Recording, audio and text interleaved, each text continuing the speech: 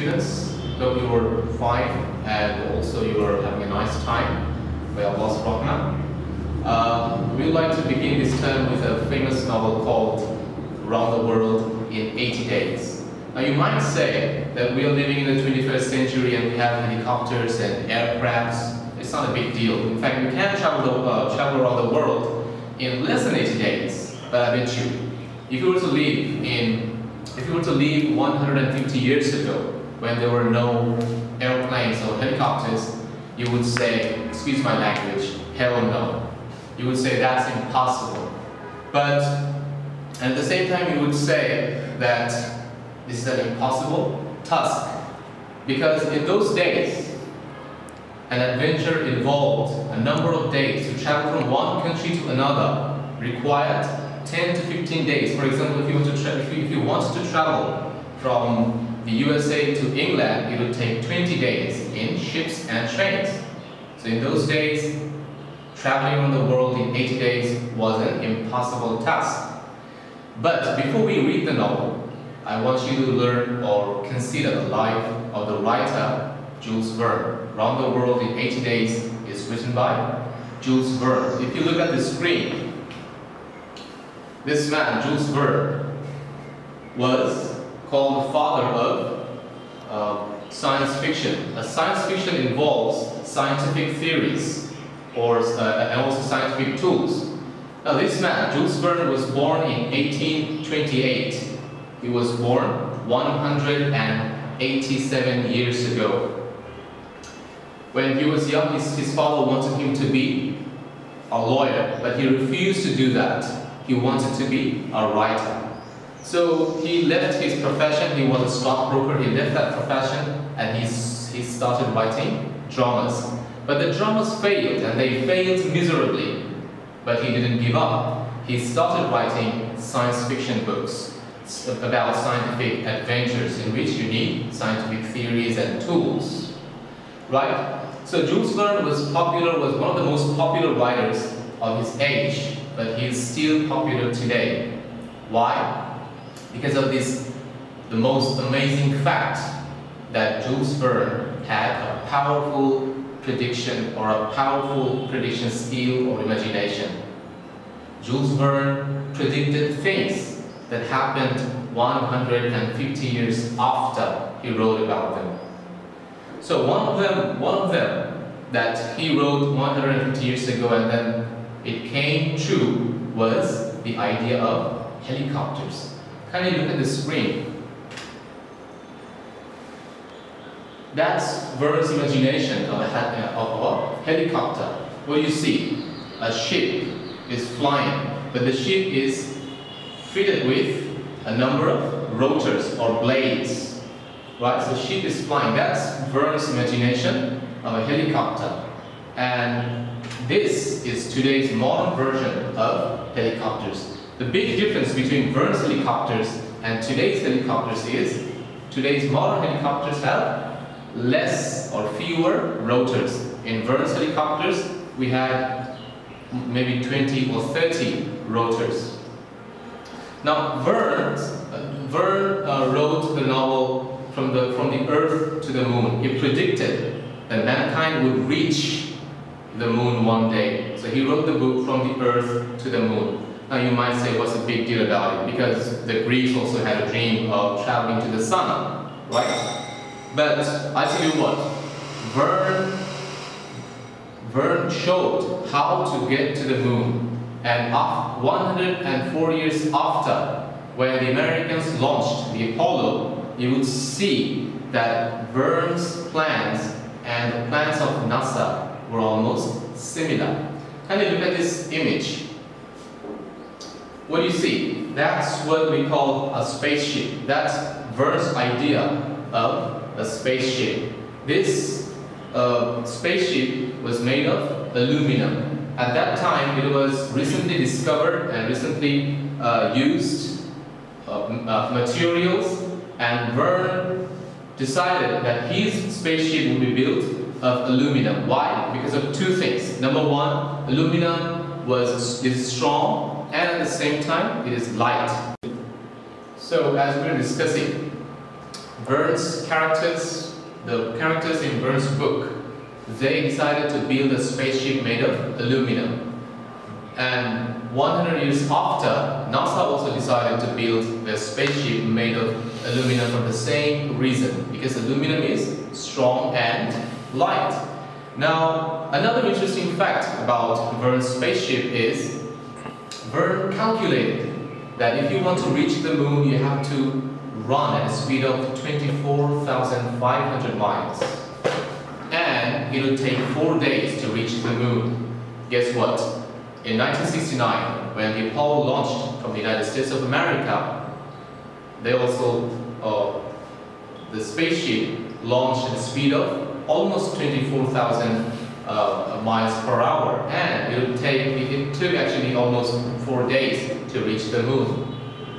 Thirdly, uh, Verne predicted that the only country that could actually launch this uh, spaceship was the United States of America. And in 1969, it was the United States of America which launched the uh, spaceship called Apollo from Canaveral. And finally, another uh, intriguing fact about Verne's spaceship is Verne's space spaceship splashed down in the Pacific Ocean. It landed in the Pacific Ocean. And in 1969, the spaceship of NASA also was, was splashed down in the Pacific. So these are intriguing facts, or what should I say, predictions that came true 100 years after of Jules Verne's writings. Now, if you look at this screen, you will see uh, Verne's other ideas, for example, his ideas uh, of balloon. This idea he provided in his book called Five Weeks in a Balloon, and this one is Verne's imagination of a submarine. And this submarine is actually quite similar to today's nuclear submarine. Right. Now these are Verne's popular books, From the Earth to the Moon, Journey to the Center of the Earth, Five Weeks in a Balloon, Around the World in 80 Days. If you think that your novel, the first novel you're going to read, Around the World in 80 Days is amazing, you might be interested to read other novels as well. Right, so we are going to start the novel called Round the World in 80 Days. I want you to guess what the title suggests, what the title of the novel suggests. Round the World in 80 Days. Exactly, the, the title is very plain and clear. It suggests that some characters, maybe one or more, more than one, are going to have a travel around the world in 80 days. Now, traveling the world in 80 days doesn't mean traveling each and every corner of the world. What it means is from one end to another, from one end to another. Secondly, at that time when this book was published, it was an impossible task. It was a challenge. So the title also poses a question. Is it possible? Is it possible to travel around the world in 80 days? Now, I want you to look at the cover page what do you see? In the background you have a train and also some hills and you have three characters, two Europeans and one Indian woman. What, what does this suggest? What does the cover page suggest? Is there any connection between the title and the cover page? Well, you can easily guess that these characters will be in your book when you travel around the world, it is very usual that you will meet new people. So in this, in the cover page, you can easily see that this Indian woman, I mean, the, the, the characters might be going to meet some new characters, new people from different cultures. It is very usual when you're going to travel around the world, you will find new people from new different cultures or nations. All right. Now, we are human beings and we have mistakes. But the things that Jules Verne mentioned in his uh, books dazzled the world. People thought, wow, maybe he was a prophet. But I'll tell you what, Allah has mentioned almost everything, all these things that Verne mentioned 1400 years ago. In, in, in, the Quran, if you kind of look at the screen, you'll see Allah mentioned in Surah An-Nahl, uh, verse number 8. He says, these horses, he was talking to the Arabs. He says, these horses, mules, and donkeys have been created for you to ride, to travel.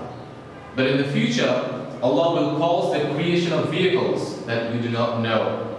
So Verne talked about helicopters, he talked about airplanes, but Allah says He will cause creation in the future that you do not know. The Arabs of that, at that time, they can't perceive, they can't uh, understand. So of course Allah is talking about all the transports of today's versions.